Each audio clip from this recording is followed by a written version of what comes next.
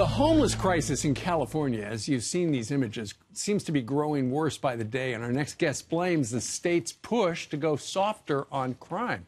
He argues that softer penalties for drug use could lead users from addiction to homelessness.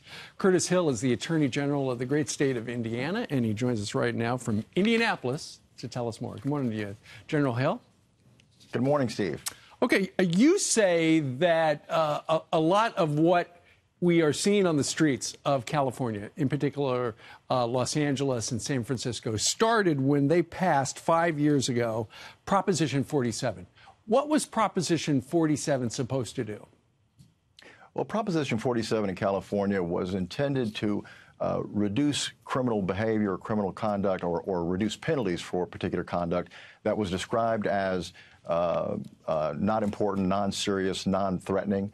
And the result was supposed to be uh, more compassion for those who commit so called nonviolent offenses. Um, the unintended consequence is it became an invitation for those who engage in illegal drug use or um, minor offenses because the penalties were uh, just not there. And as a result, you see people who now uh, have no place to go, and it's drawing in the homeless uh, groups that are creating unsanitary conditions mm-hmm. and threatening behavior, uh, and really intolerable conditions for cities all, all over America. So they were trying to be compassionate, uh, where they go a little softer on crime, you write, but that has had a terrible effect. Well, in San Francisco, some reports indicate that homelessness has increased by 17 to 30 percent in the last two years. Uh, that's an incredible burden to place on a community. Uh, in cities like San Francisco, Los Angeles, or even Washington D.C., where I was, uh, I was there last week, and on my way to dinner, um, I witnessed some individuals shooting up on the sidewalk uh, in plain sight. Uh, that is no way to, uh, to, to have a city where we want families and businesses to to flourish. Sure. And I know that as Attorney General there in Indiana, you've worked on all sorts of programs. I was reading this morning about one where you champion drug addiction treatment programs in jail. Uh, do, do they have that kind of outreach in California?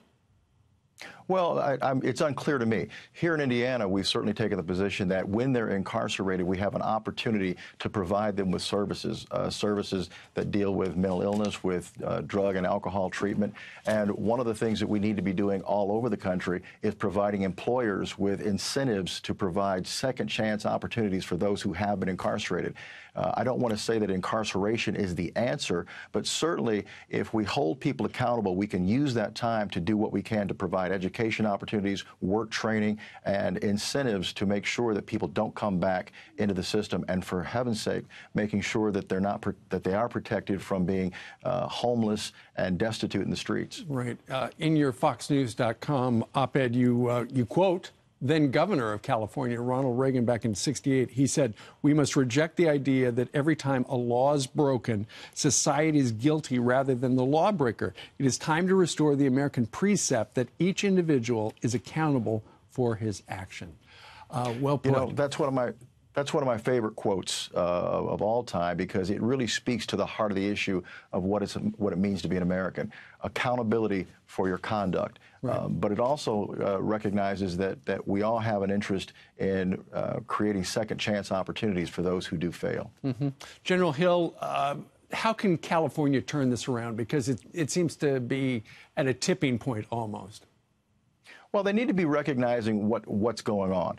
Uh, the, uh, we all need to look at in, uh, improving our justice system, but simply reducing sentences, cutting sentences, uh, pretending that criminal conduct isn't occurring, or watching criminal conduct occur, but changing the definition so that we no longer think it's criminal conduct or counting it as a score, uh, that doesn't work. We need to make sure that we hold people accountable for uh, smaller offenses.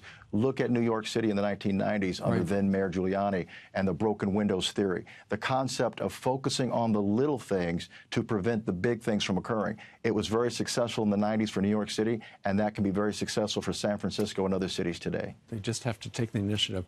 All right, uh, Curtis Hill, the Attorney General for the great state of Indiana. Sir, thank you very much for sharing your op ed, which is on foxnews.com. Thank you, sir.